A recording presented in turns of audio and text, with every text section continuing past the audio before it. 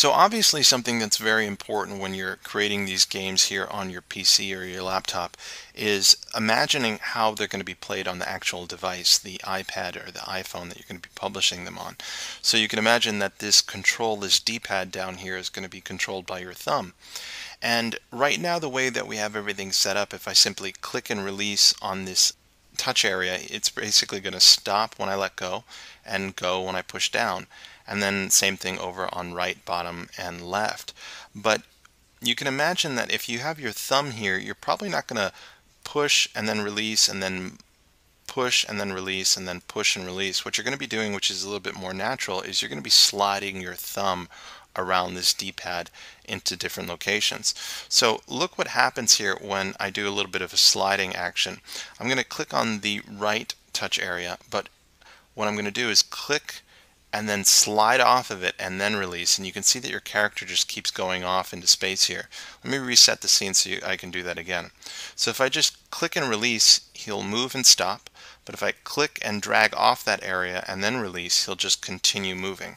And again, maybe this is exactly the way you want to set up your character. Maybe this will be useful for you to have the player do a click and slide and then basically your actor will continue moving in that direction. But maybe you don't want that to happen. So let's go ahead and, and set up another actor that will prevent this from actually happening. So we'll click the back arrow, click the plus icon to create a new actor, and I'm going to name this actor No Touch. And again, I'll just go back to my Images tab here and drag that temp image so we see a little bit of transparency when we drag it into our scene. So what we want to do is set up this no touch area so that it basically lines the perimeter of these four touch areas that we've already created. So I'm going to click and drag that down here into my scene. I'll zoom in a bit so you can see what I'm doing. And again, I can hold the Alt key to pretty much duplicate anything, so click and drag to duplicate that. Still holding Alt, and I'll just basically duplicate it a few times so it fills up the outside of these touch regions.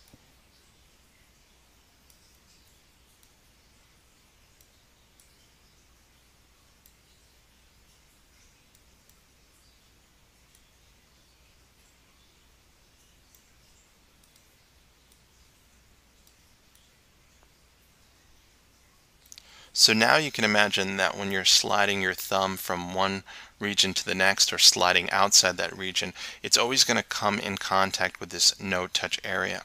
So let's go ahead and apply a rule to the no touch area that will stop our actor in its tracks.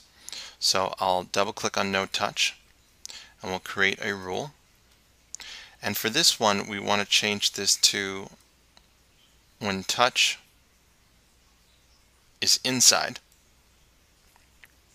we're going to change an attribute. So again, I'll go over to my behaviors, click and drag change attribute. And what we want to do is switch that controls attribute over to none.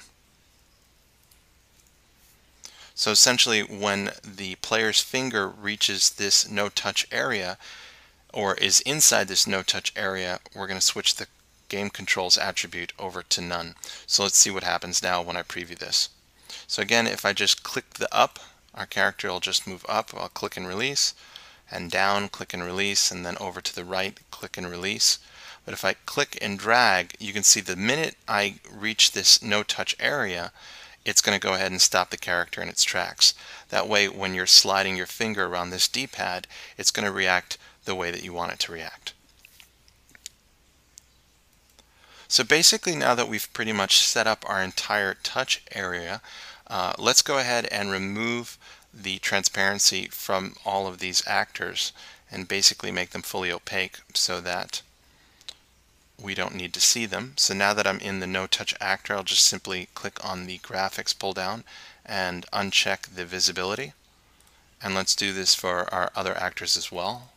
Double click on up, go to graphics over here on the left, uncheck visibility, and just repeat this for the other ones as well.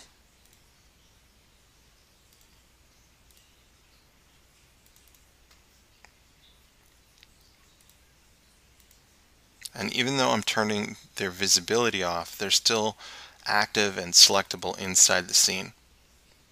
But we just don't want to see them when we actually play our game, so we'll turn their visibility off. And you can see if I preview this, we don't see them anymore, but if I click on the up portion of my D-pad, my character will move up, and of course if I push left, right, and down, everything works. And of course if I slide from one region to the next,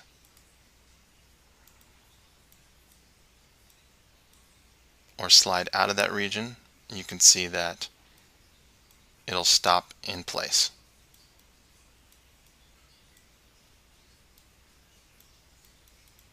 So now that we've set up the D-pad, setting up the red and blue buttons is just as simple.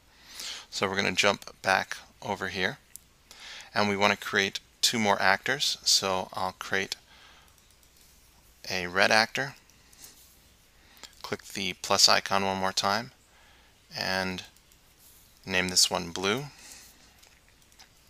Again, I'll drag in that temp image so that we can see it as we drag it over our buttons. So I'll drag the red actor and resize it over the red button. And of course do the same thing with the blue actor.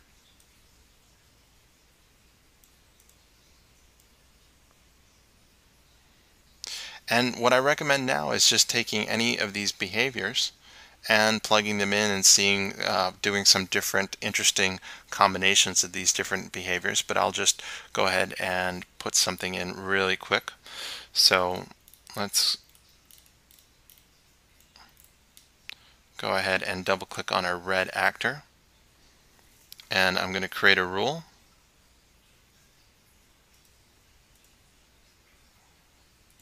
that when this actor is touched, we're going to go ahead and change an attribute here.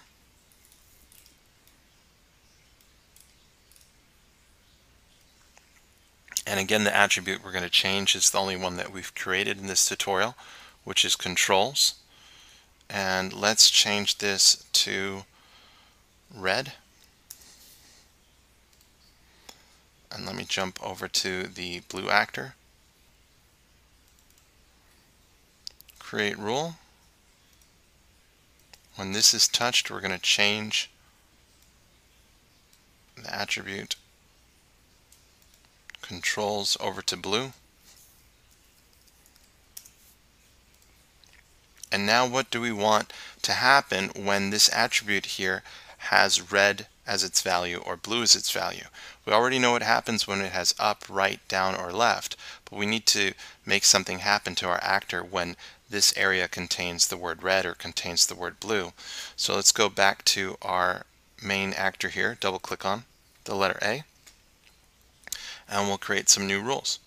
So we'll create a new rule and we'll again we'll switch this over to attribute,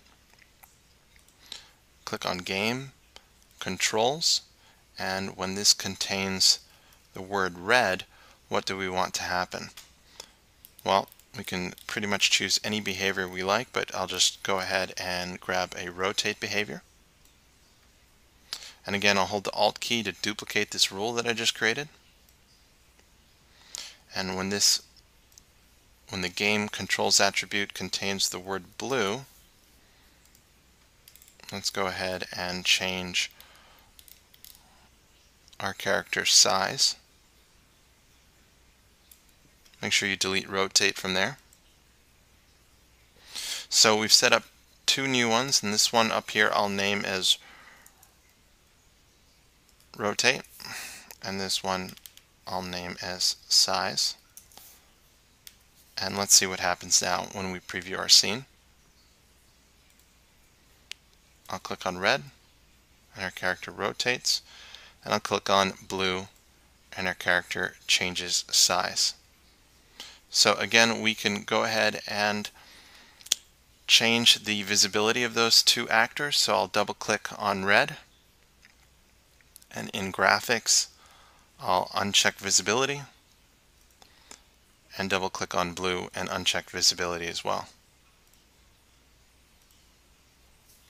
And you can see when we preview our scene, we don't see any of those images, but we can control our actor moving around the scene.